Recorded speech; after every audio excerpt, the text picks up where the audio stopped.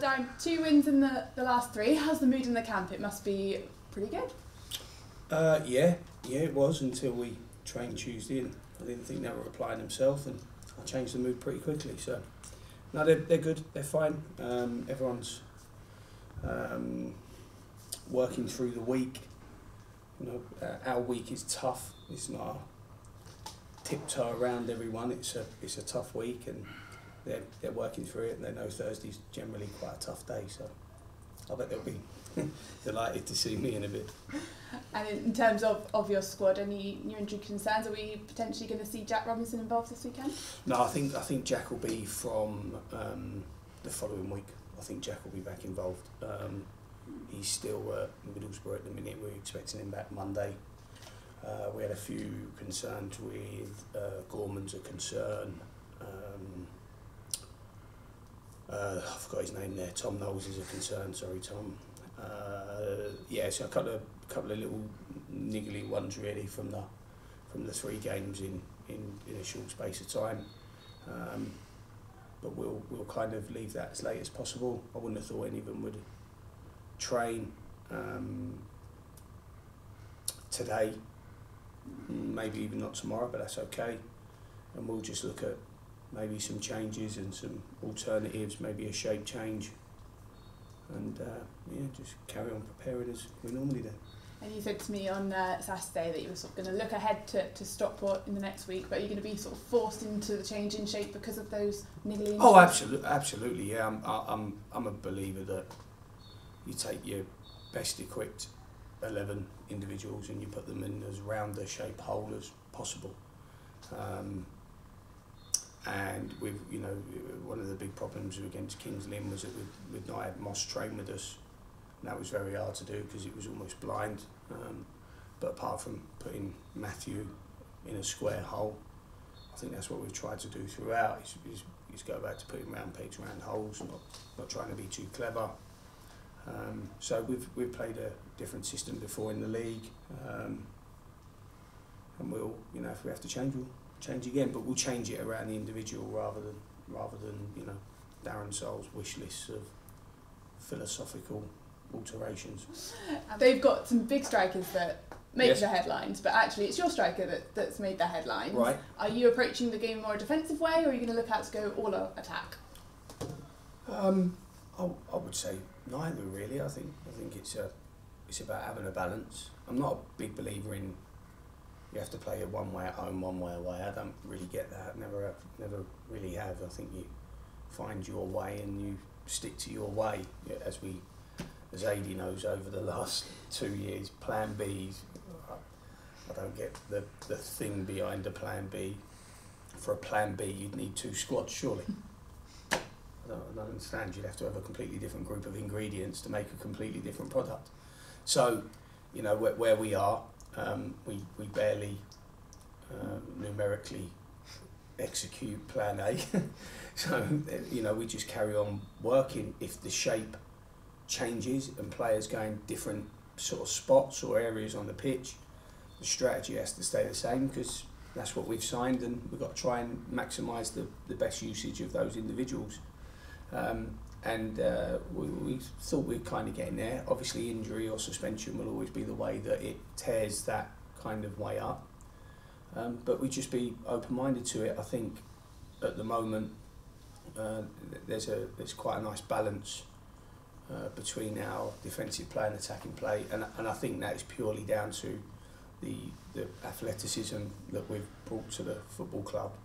Means that when we do attack, it generally is a quite a, an upbeat pa- uh, pace.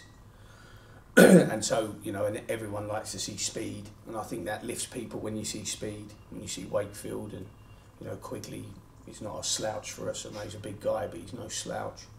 Uh, and because they're going at such a rate, you know, people kind of generally lift to see that, that, that um, phase of play, but we just got to be really balanced. You know, I've, I've said all along, I'm not going to moan about injuries and money and rubbish like that. We're just we're going to run our hardest, which the boys have. That's the only reason why we won the two games because their attitude, their attitude. You was there at Aldershot. Their attitude in that closing stages were after the goal went in was just brilliant, absolutely brilliant. Um, and we just carry on following one game at a time. There's not really a run for us this year. We're not really looking at runs. We just it's got to be a run of one all the time. One, one, next one, next one, next one. So um, a run of one. That's an oxymoron if ever I've heard one. So yeah. And you certainly do bring a certain type of player to this football club. You want those Which hard-working players, and the ones that, as you say, do all, do The mi- all the running. The misfits. but is the, the scenes we saw at Aldershot and at home on Saturday, do you tell the players about those scenes and, and how much they will push them over the line? Because it Oh, really I- felt like that connection's really there now. No, it's it's a, I don't know how it. I don't know how it started. Um, a couple of years ago, I don't know which game it started at. Aldershot's probably an early one, but when I'm now recruiting players, I show them. I play them that video at Solihull. Um, I play them the video at Aldershot. You know, I play them these because it's a real. I asked Jordan Barnett how he felt after the game Saturday. He was like a dog with two and the rest. So um, he, you know, it, it does. It is a special moment, and I still get really excited by it, and I still very much enjoy it. Um, and it and it's kind of starting to happen now all round the ground rather than one end. It's starting to happen now around the sides, and that's brilliant. And, and it gives players great confidence, and it also gives them an, an organic motivation to win. And motivation for any manager is the hardest thing to do over 10 months because it's day in, day out, it's very intense. You, know, you can only tell this, that story once, you know, to try and lift them and inspire. And, uh, it's a hard way, but when you have that connection with the supporters and you know at the end of the game, if we really put ourselves on the line here today and we get a win, we're going to have two, three minutes of that ecstatic you, it's like euphoria winning a game of football. You hear the whistle and you've won the game. It's like a salvation, a euphoria of I feel really great about myself for the first time this week, month, year, um, and that's what they're experiencing. And especially, I, know I made a, a, a quite a blasé joke about the misfits, but a lot of these lads, a lot of these players have never really had a welcomed home, and I, I'm not talking disrespectfully to any previous clubs in the case of Jordan Barnett, he had two clubs last year, and at the end of that second spell, that second club, you know, he was told that his services were no longer, you know, required. Then I signed him, and I thought he got quite a bit of a bad rap early on, Jordan, um, from certain sections, but he's now showing everyone what we thought we saw in him, and the committed, all or nothing type performances that he's put in. He's been, he's been exceptional, Jordan. Um, and those moments make someone who's never had a place that's felt real, makes it feel real. It makes it feel like you belong and it makes you feel wanted and it makes you feel like you want to do it again. And I think that's the biggest thing that we wanted to have when I first come is, you know, we're not above anyone, we're football players, it's just our chosen form of trade.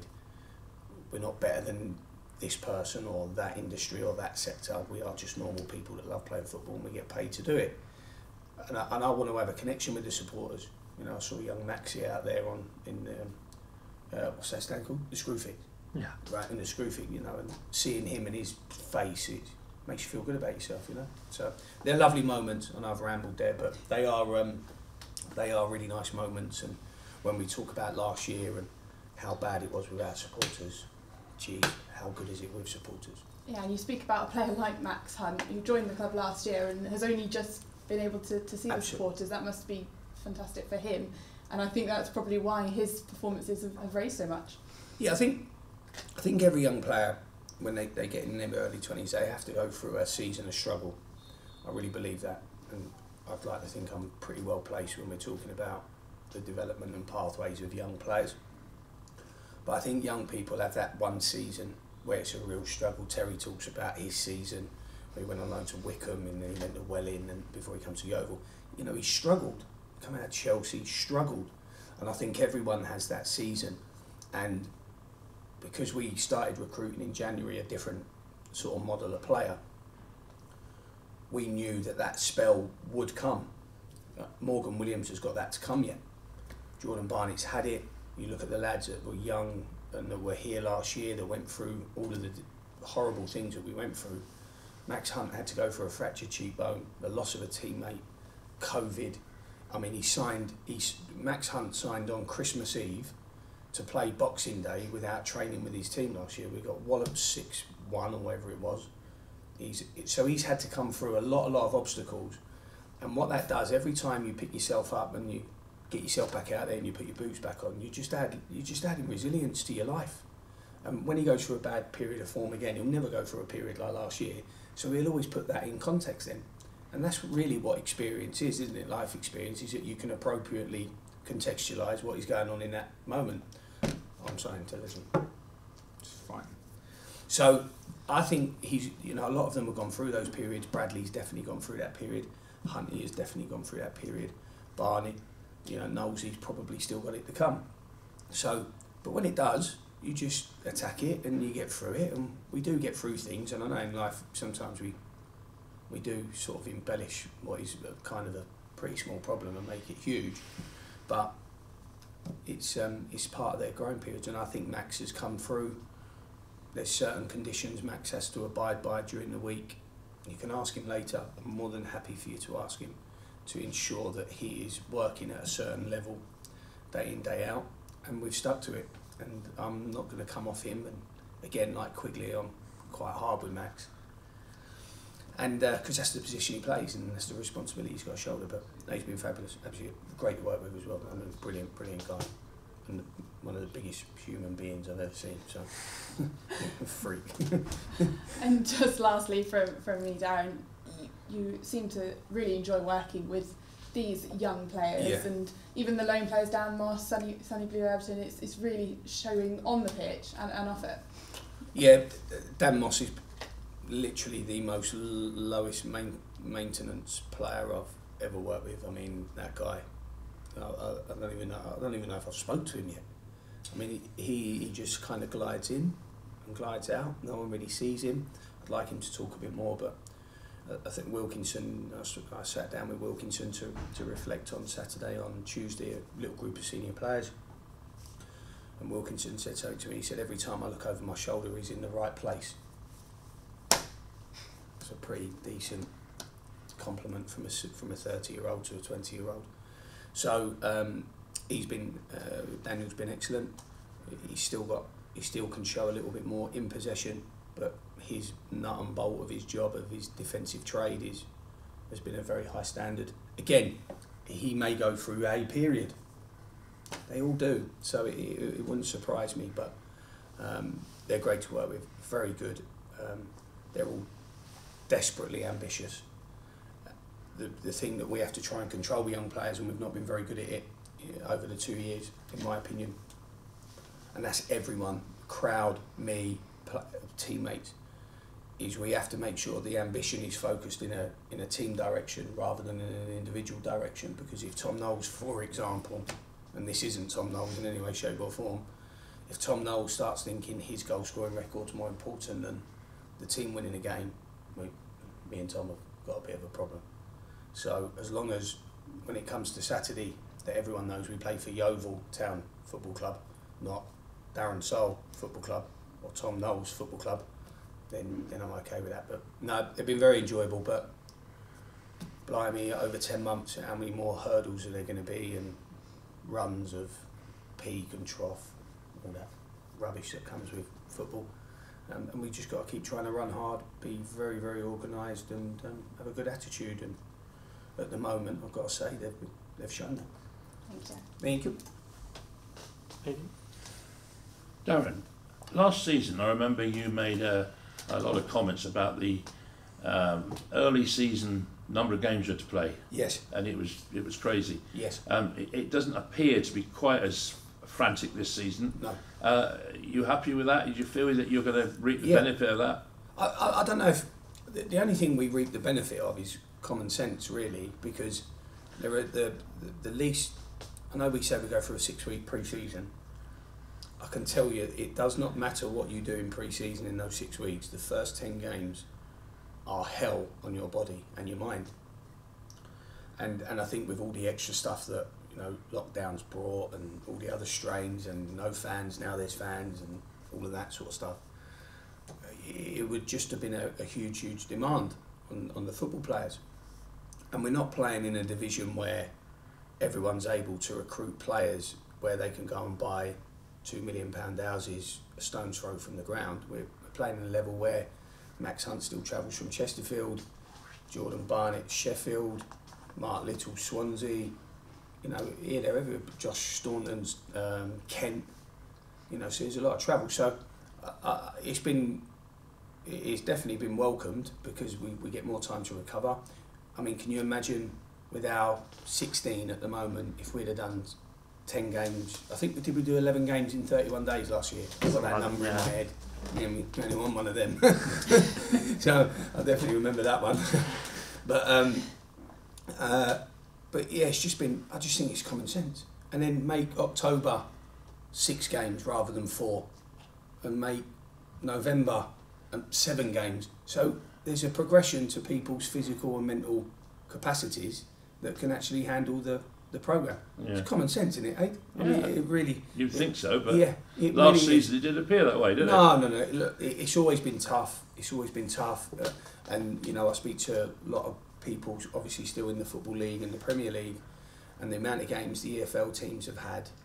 Uh, it was there. Stevenage that had their first break, clear week, for nine weeks. Yeah.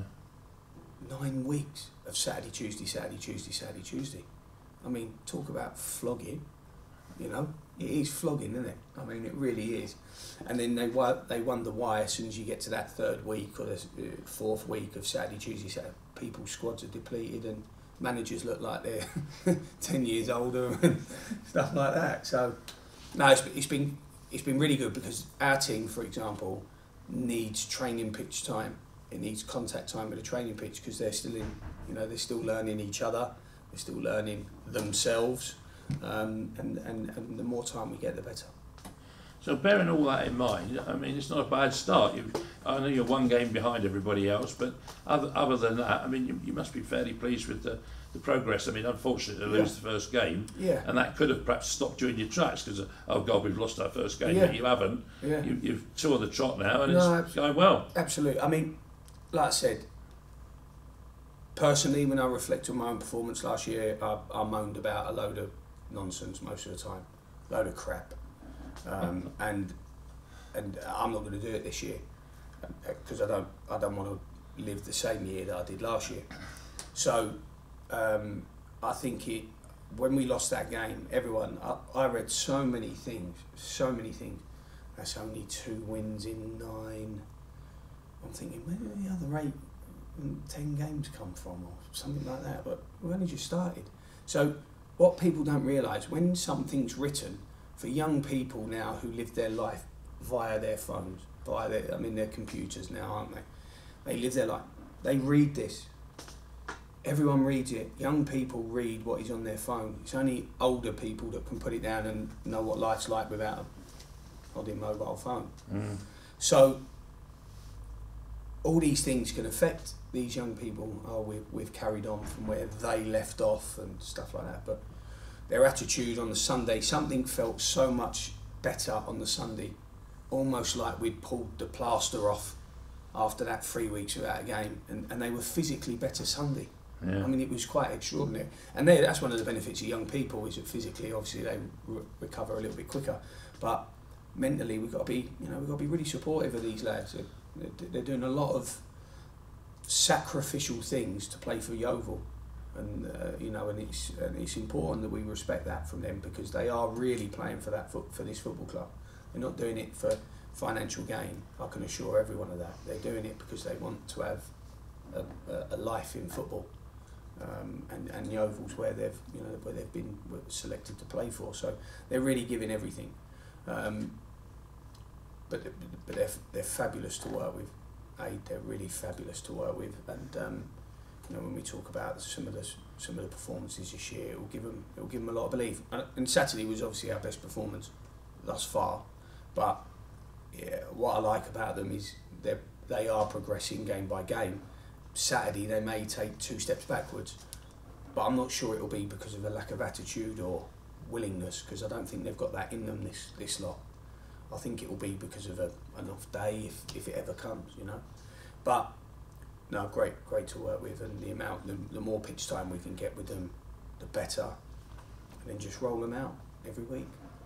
But a bit of a, a bit of a, a harder task, shall we say, on Saturday up at Stockport. They're considered to be, I don't know quite why, but because they spent a lot of money, I suppose, one of the bigger clubs. Um, you know, you, you fancy your chances up there, I presume. Yeah, look, I, I think every game for us is different this year. I think every game is to the previous two years because where are we now in terms of the names on the team sheet? Where are we now in terms of the experience that we used to have that we don't have? You know, when when I used to hand team sheets in, managers would look for Rhys Murphy.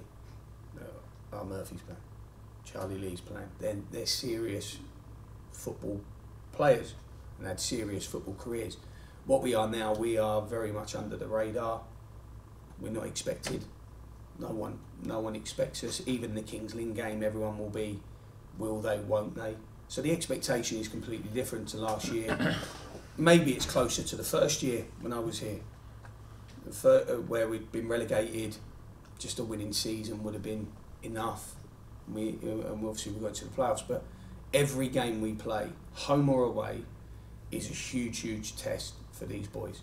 And every time they go out there, and, and my, my one of the biggest parts of my role with this group is making them believe there's nothing to be afraid of.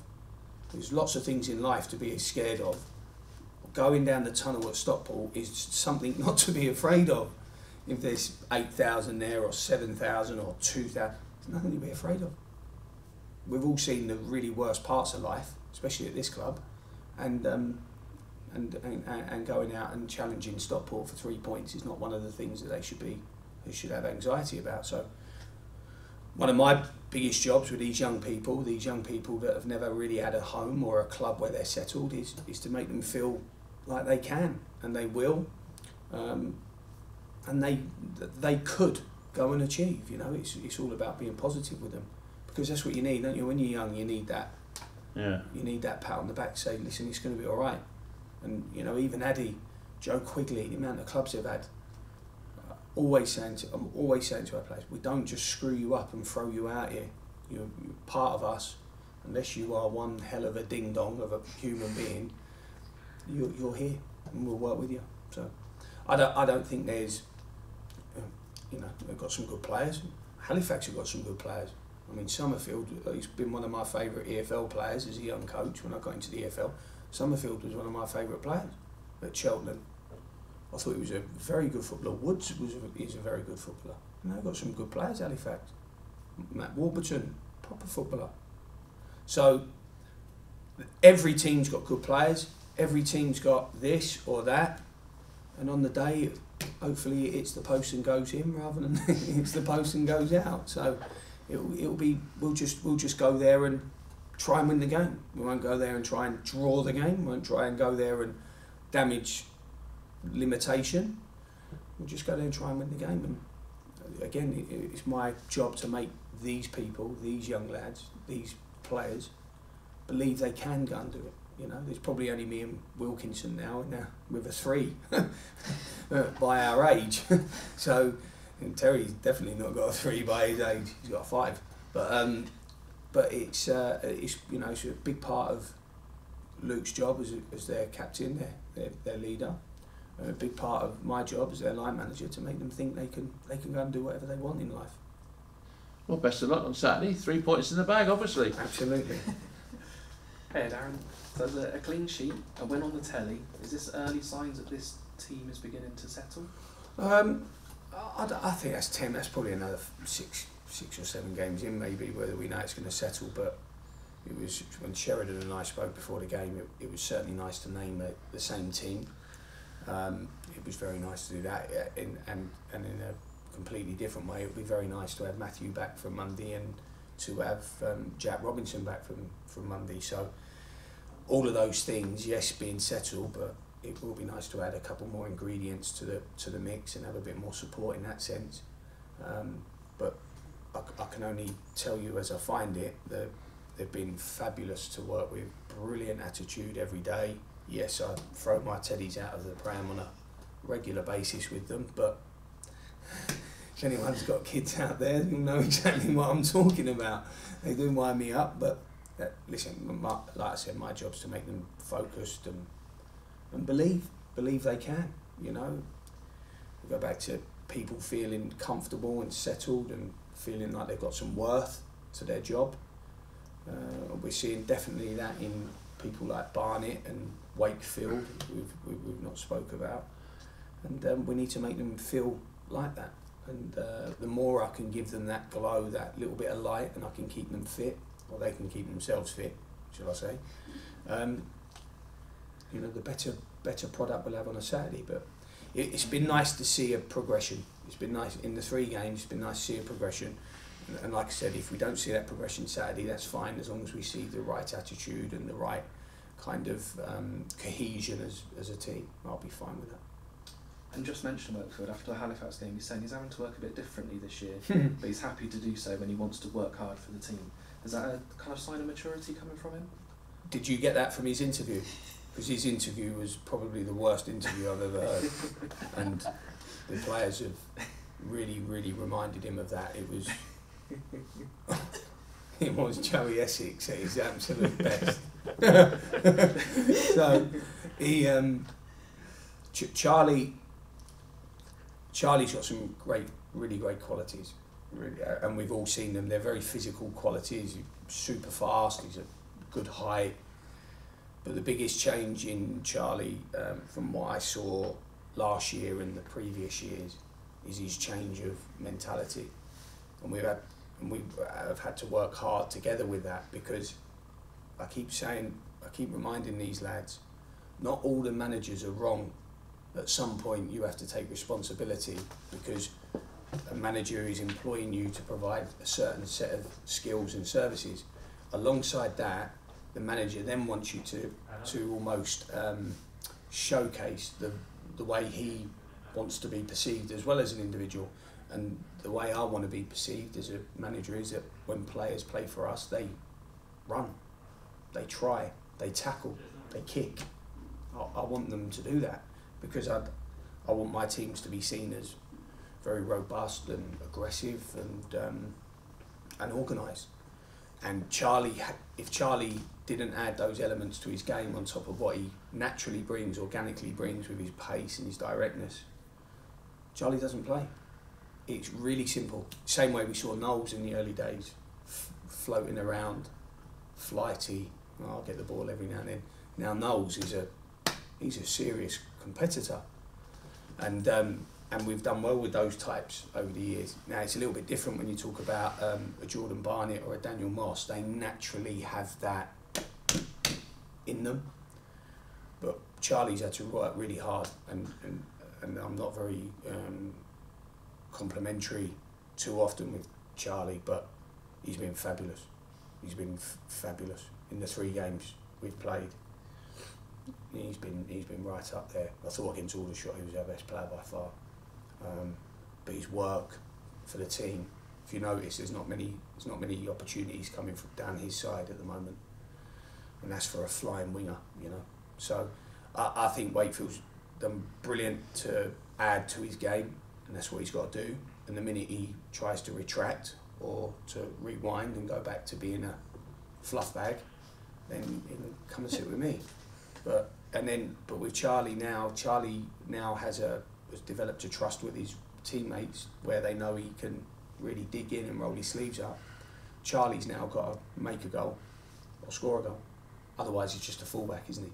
A winger that doesn't create anything is just a right back, in my opinion, because he's certainly stopping attacks.